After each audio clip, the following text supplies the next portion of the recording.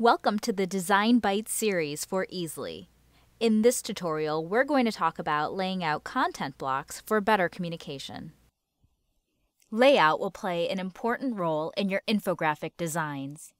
Layout refers to the way elements are arranged on a page when it comes to the placement of text, images, and style. You can use content blocks in your layout to draw your audience into your content, story, and overall message. Differentiating your content blocks by color is a great way to differentiate between a headline, body copy, or even steps in a process. If you have a lot of information to share, content blocks differentiated by color can provide a logical flow to your content and clarify information for your reader. Let's walk through how you can create content blocks differentiated by color in Easelly's design tool. I'm going to start off with a clear canvas, and I'm going to resize my canvas to a standard letter size document, 8.5 inches by 11 inches. You can resize your canvas for your own needs. You can leave your background white, or you can change the color of your background to match your color scheme.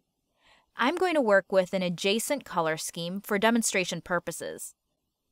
Adjacent color schemes, also known as analogous color schemes, use colors that are next to each other on the color wheel.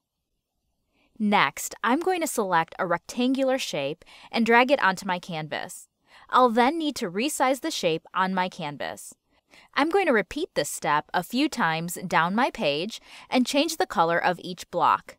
As a tip, Use the clone button to recreate your shape and then just change the color of the shape you cloned and arrange it on your canvas. You'll also want to decide if you want your blocks to bleed off your canvas or if you want to leave a margin. Another design choice to consider is if you want your blocks to touch or if you want space in between. Once you have your blocks in place, you can lock them in place so they don't move as you add other elements on your canvas. You can always unlock and resize the blocks once you start to work in your text and your graphics. I used actual blocks to create our content blocks in our sample layout, but you can use any shape. Try using circles, triangles, or squares, or a combination of shapes. They can also move from left to right instead of top to bottom. The design choice is yours.